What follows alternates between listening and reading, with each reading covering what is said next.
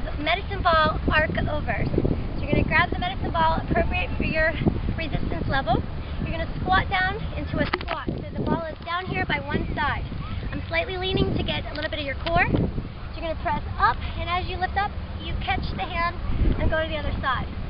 So you're arcing over the body. You can add a little toss. So you just got to get your time. You're going to make sure, very important, that you're not leaning forward with the knees. You're pressing the hips back, keeping your back strong and your core in tight each and every rep.